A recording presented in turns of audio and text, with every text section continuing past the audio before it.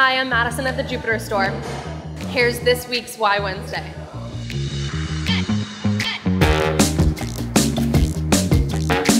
Why call orders to customers that have fries only?